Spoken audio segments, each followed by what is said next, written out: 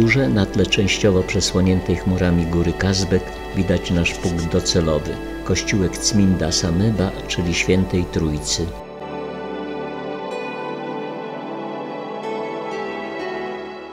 Żeby się tam dostać, musimy skorzystać z samochodów terenowych.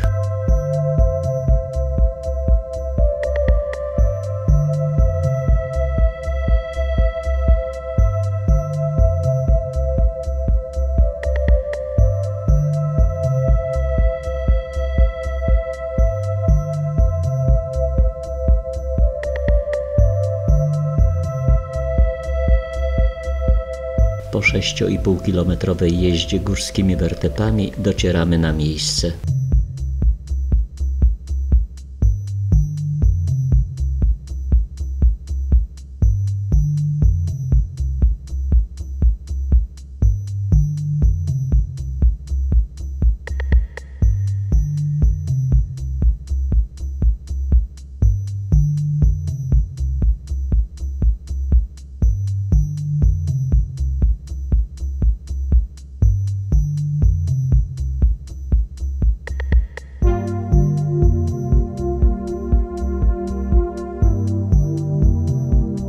Prawosławny klasztor Świętej Trójcy został zbudowany w XIV wieku i leży na wysokości 2170 metrów.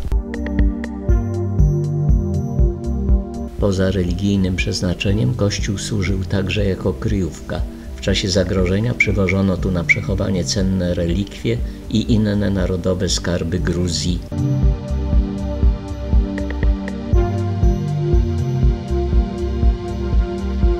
Tu widać wyraźnie, jak wysoko został zbudowany klasztor.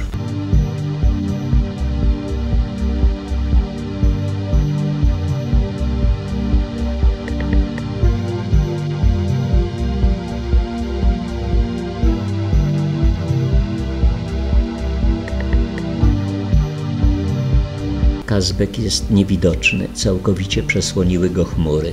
Ten drzemiący wulkan wznosi się na wysokość 5033 metrów.